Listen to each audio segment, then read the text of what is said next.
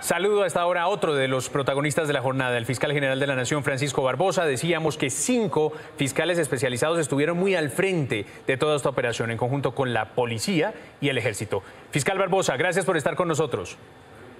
Bueno, un saludo, José Manuel, para usted y para todas las personas que nos están eh, escuchando el día de hoy y nosotros también. Fiscal, ¿por qué no nos cuenta algunos de los detalles que todos los colombianos queremos saber alrededor de esta operación, que tuvo que haber tenido mucha milimetría, porque no estamos hablando ni de un bombardeo, ni de haber dado de baja a este criminal, sino de haberlo capturado, y eso implica sin duda un desafío mayor?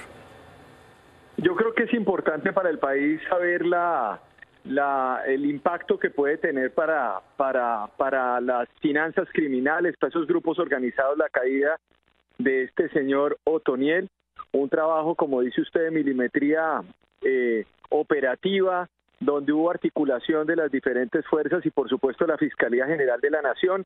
Teníamos un grupo de cinco fiscales, 33 allanamientos eh, se ordenaron por parte de la Fiscalía General de la Nación y se lideró todo el, el, el, operativo, un operativo muy muy importante por parte del Ejército de la y de la misma Policía Nacional creo que es un trabajo donde se demuestra que eh, la articulación de las ramas del poder público operan, la rama judicial a través de la fiscalía en este caso se articula muy bien con lo que con las fuerzas militares, con la policía, ese ha sido el eje central del trabajo que nosotros hemos tenido y hemos mostrado resultados a lo largo del territorio nacional.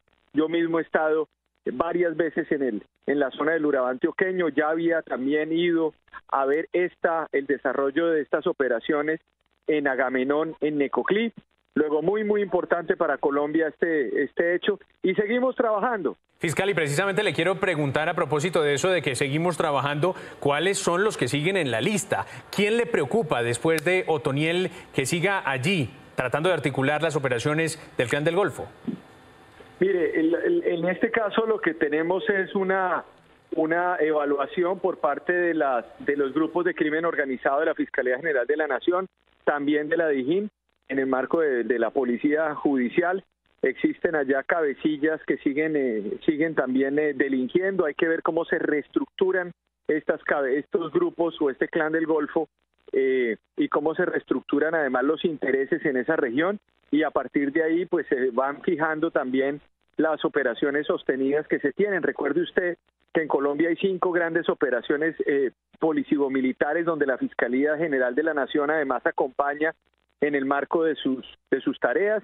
En esta en esta ocasión era la operación Agamenón, pero también está Aquiles, está Esparta, está Atlas Atalanta y está también toda la estrategia Artemisa de protección al medio ambiente, todo eso articulado con la Fiscalía General de la Nación en itinerancia que nos ha permitido tener una multiplicidad de resultados. Fiscal, una última pregunta que muchos colombianos nos hacemos. ¿Vamos a ver con overol naranja a alias Otoniel en una cárcel de los Estados Unidos en los próximos días?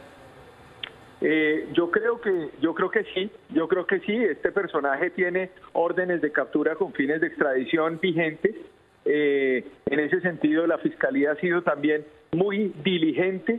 Ha habido un trabajo muy importante con el eh, con con la rama judicial del poder público. Esperamos que pronto también se vaya a producir seguramente este hecho.